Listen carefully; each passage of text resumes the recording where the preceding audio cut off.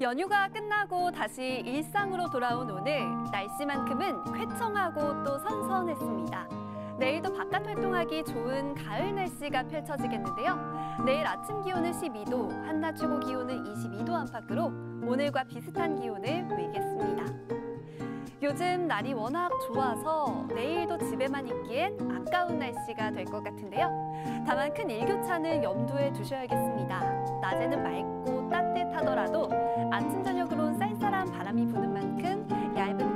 하나 챙겨서 외출하시기 바랍니다. 내일도 하늘에 가끔 구름만 지나겠고 대체로 맑고 쾌청한 하늘이 함께하겠습니다. 내일 한낮 최고 기온은 용인이 21도, 안산과 수원, 안양은 22도, 화성과 평택은 23도 안팎을 보이겠습니다. 당분간 별다른 비 예보 없이 맑은 날씨가 계속되겠고요. 기온은 서서히 내림세를 보이면서 찬 기온이 조금 더 짙어지겠습니다.